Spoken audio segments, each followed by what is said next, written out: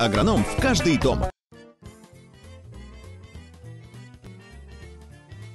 Уважаемые садоводы-огородники, у нас сейчас проводится подкормка рассады колиуса или крапивки. Мы распикировали наш колиус. И через 7-10 дней, как только колиус прижился, появились новые листочки, проводится подкормка. Подкормка будем проводить специальными удобрениями, э, водорастворимыми э, удобрениями, содержащие азот, фосфор и калий и микроэлементы.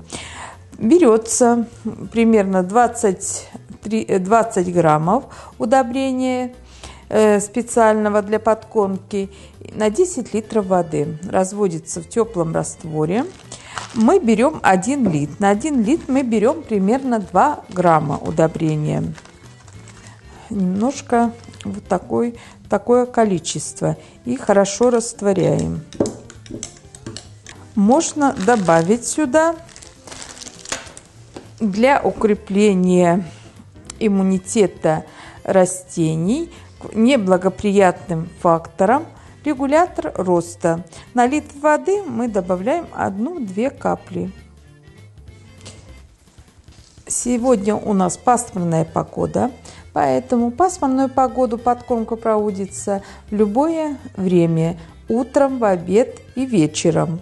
Желательно перед подкормкой, чтобы э, перед корневой подкормкой, чтобы влажность почвы была оптимальная. То есть растения полили перед подкормкой. Почва была не сухая. Наш раствор мы наливаем в лейку. Наливаем в лейку и вот поливаем с лейки с мелким ситечком вокруг э, растения каждую кассету. Все растения должны подкормить. Если погода солнечная, то проводить лучше вечерние часы. И если раствор попал на листья э, э, нашей рассады, то затем можно полить чистой водой.